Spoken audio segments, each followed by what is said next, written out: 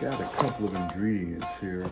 Had a taste for some grits actually this morning, so I'm gonna do the instant grits. And these you can actually jazz up a little bit. I don't know which kind of grits they use in the restaurants, but you know, maybe a grit is a grit is a grit. I don't know, but they're not that bad.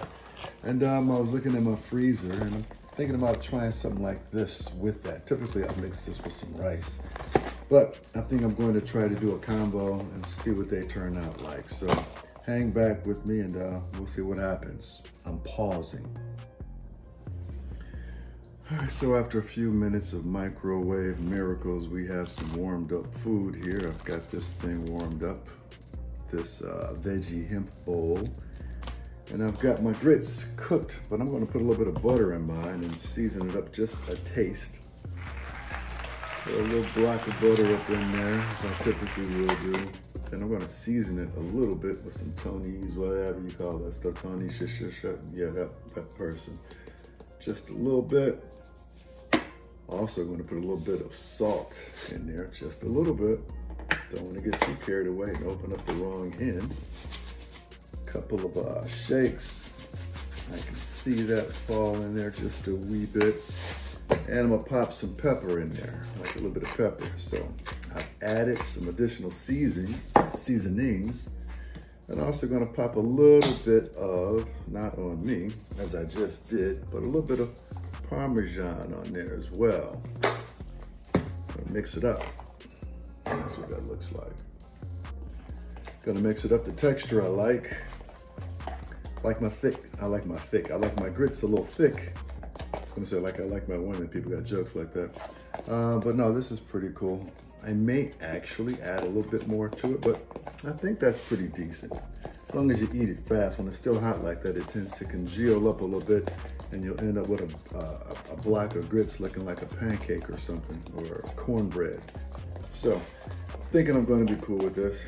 I keep saying that I'm gonna put some water in it, just to add a little bit. Mixing this up. All right, now I think I got it.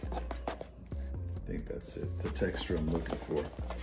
So a little bit of butter, and I'm just going to pop it in this plate. And I really don't know how I'm gonna mix it. I'm just gonna mix it all up together. So I'm gonna mix my, let me see, I'll do it this way, yeah. I'll do the grits that way. A little bit of it. And how about I surround it with some of this other stuff I got. Take this wrapper off. This stuff. And ultimately I'm gonna mix it all up anyway, but I think you're supposed to start off making it look pretty. So maybe I'll start that off. Going a circle with my grits. Go in a circle with it. Make it look a little pretty. Just keep going in that circle.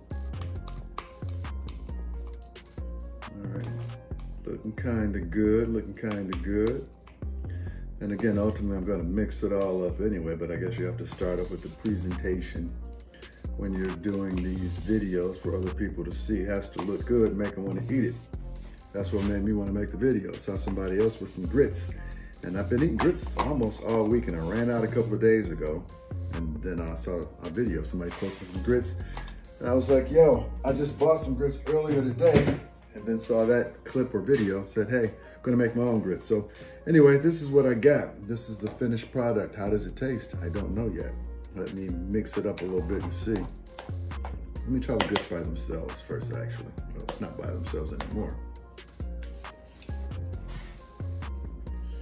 Mm -mm -mm. And a lot of times I'll try to go by whether or not I'll pay for something again, but this actually ain't bad. And what I pay for? Well, I already bought the ingredients, so I guess yes. The grits are fine. I would probably add a little bit more salt to it, but that's just me. Everybody else might like it, but uh, yeah, this is cool. Not bad. Veggie hemp bowl and some grits under five minutes, lunchtime.